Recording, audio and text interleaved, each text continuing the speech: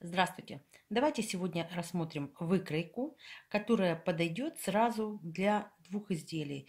Эта выкройка подойдет для пошива туники, если сделать ее покороче, и если сделать длиннее, будет смотреться прекрасное летнее платье. Это платье идет с приспущенными рукавами, будет кулиска на линии плеча с возможностью присборить плечевой срез – Кулиска будет идти чуть ниже талии. Глубокий вырез. Ну, вырез это вы, естественно, будете сами регулировать, какой хотите. Его можно сделать и другой формы, и, естественно, либо глубже, либо меньше.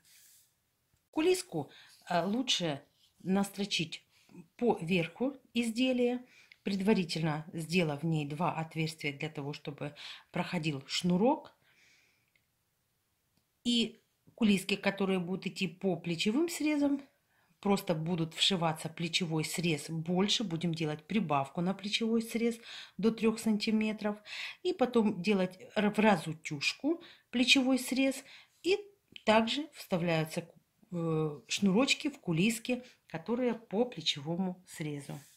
Приступаем к построению чертежа. Необходимо будет начертить прямоугольник, где длина прямоугольника будет равна длиной изделия, а ширина прямоугольника будет равна 1 четвертая обхвата бедер плюс 4 сантиметра.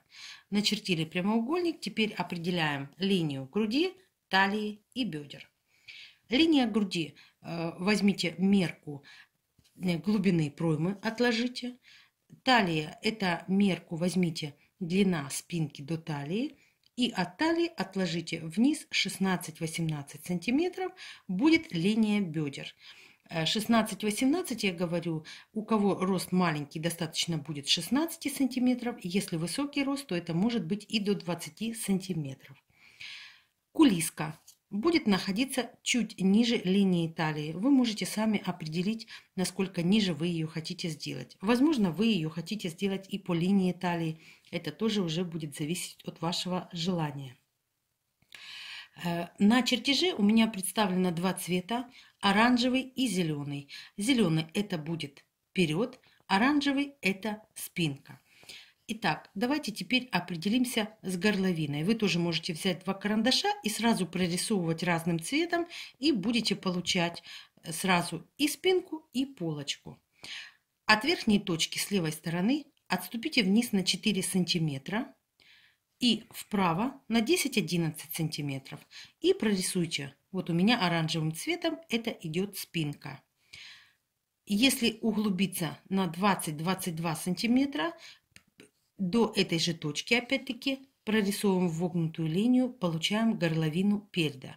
И хочу обратить ваше внимание, если 20-22 сантиметра, это будет достаточно глубокий э, вырез. Если вы хотите меньше, пожалуйста, уменьшайте. Теперь по плечевому срезу. Отступите от верхнего правого угла вниз 4 сантиметра и соедините с точкой горловины оранжевым цветом. Это будет э, плечевой срез спинки. Опустившись от точки на 5 см, получаем плечевой срез полочки. Продолжаем дальше. По линии груди, где мы нашли линию груди, необходимо отступить 2 сантиметра и прорисовать вогнутой линией, соединяя от плечевого среза через точку 2 см, затем идем по прямой к линии талии и слегка расширяем и выходим к линии бедра, то есть прорисовываем линию бедра. А, пройма от точки плечевого среза опуститесь вниз на 18-20 сантиметров и наметьте. Это будет пройма. То есть до этой точки необходимо будет снизу до точки зашивать э, боковой срез и остальное остается э, проймой будет. Теперь необходимо будет сделать прибавку на кулиску от точек, полученных с вами зеленым и оранжевым цветом необходимо будет прибавить по 3 сантиметра. То То есть прибавляем вверх по 3 сантиметра и получаем прибавку на кулиску. Для такого платья или туники а, подойдут ткани и с каким-то цветным э, крупным рисунком, так и мелким, и в полосочку будет красиво смотреться, и однотонная тоже. И можно использовать разные ткани, и шелк, и лен, и вискозу, и шифон. Все зависит от того, э, какую ткань вы хотите видеть. На этом все. Всем пока.